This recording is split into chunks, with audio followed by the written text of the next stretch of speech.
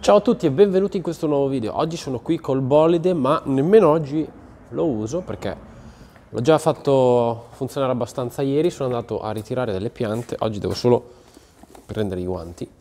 Come vedete lì, spero si veda bene. Sì. Ho delle piante con un po' di sabbia, le ho messe un attimo in tagliola, tra virgolette. Sto continuando a mettere dimora delle piante per nuovi frutteti come ho fatto vedere nello scorso video e adesso andiamo insieme a vedere tutto quanto. Allora, dunque, come dicevo prima, nello scorso video vi ho fatto vedere questo campo dove c'era mio padre alle prese con il komatsu e la trivella, stava facendo i buchi per queste piante che ho messo giù ieri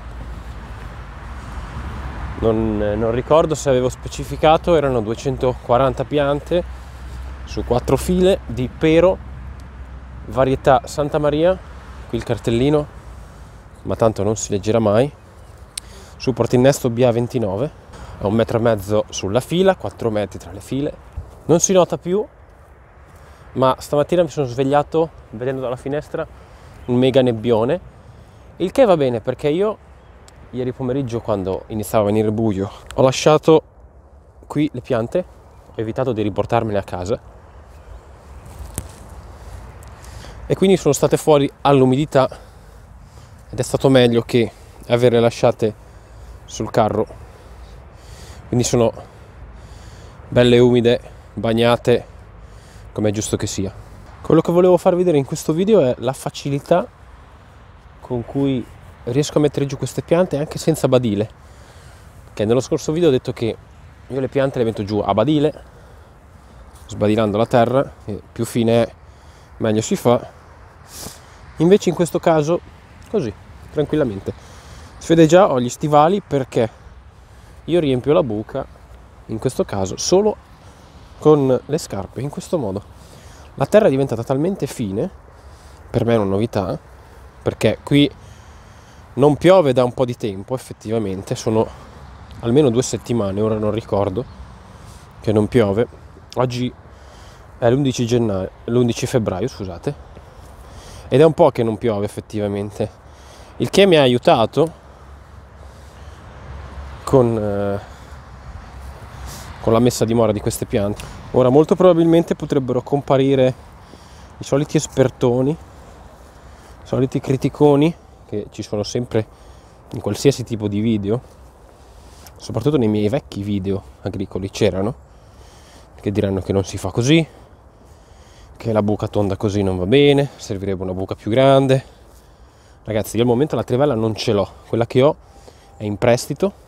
Non vi ho fatto vedere come erano le radici prima perché le piante comunque sono, sono belle grandi, belle vigorose, quindi avevano un apparato radicale ben sviluppato.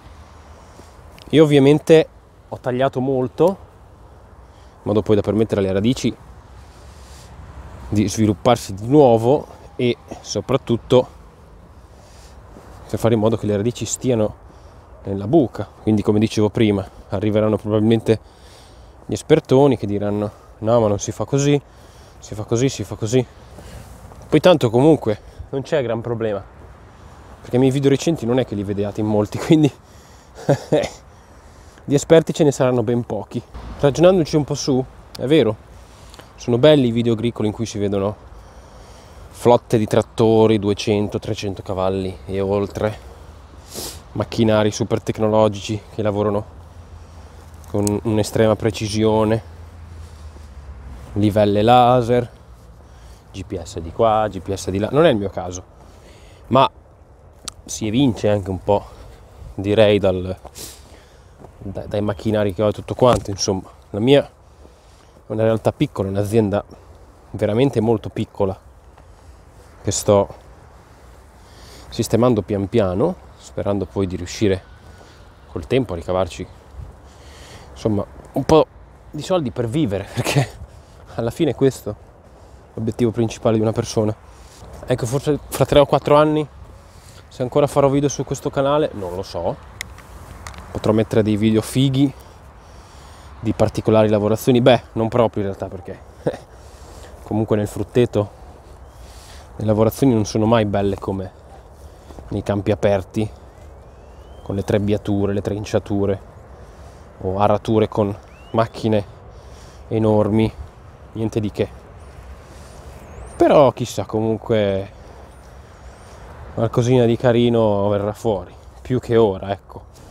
Tra i pochi che seguono questo canale, forse c'è qualcuno che segue The Italian Farmer, il Giuliano, come si chiama lui stesso, qui su YouTube, che diciamo, cioè, fa video agricoli anche lui, una GoPro, molti, anzi, sono praticamente tutti dei POV, perché comunque utilizza la GoPro in questo modo, molto bello, parla molto anche lui, è molto più preparato di me, ha un'azienda migliore della mia, ha delle macchine migliori delle mie, insomma tutta una serie di cose, è una realtà diversa la sua. Magari se qualcuno lo conosce potrebbe aver notato che per questi miei ultimi video recenti di questo mio ritorno sicuramente un po' ho preso spunto dal Giuliano nel fare i video, cioè nel senso l'action cam attaccata in testa, attaccata al petto come in questo caso, la lavorazione di un certo tipo con il commento ovviamente si spiega quello che si sta facendo, si, si fanno commenti, ci, insomma si parla sul video, sulla lavorazione, è normale. No, perché, lo dico perché non vorrei mai essere preso in causa come copione o chissà cosa. Insomma, io prendo spunto. Ora, certamente tornando al discorso di prima, appunto in un frutteto, che video vuoi che faccia? Ho comprato un drone di recente e ogni tanto lo uso, l'ho usato per un'aratura.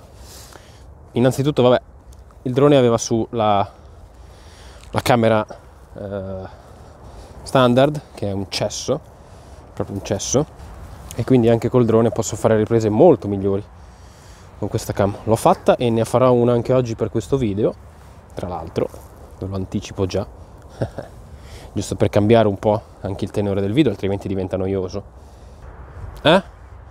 Che meraviglia! Prima ero più o meno là, a metà, adesso non so nemmeno se si vede bene, che ovviamente vedo da uno schermino microscopico. Ho finito la metà di questa fila. C'è qualche pianta leggermente storta, devo dire la verità. Cercherò di portarvi all'interno dell'azienda con me.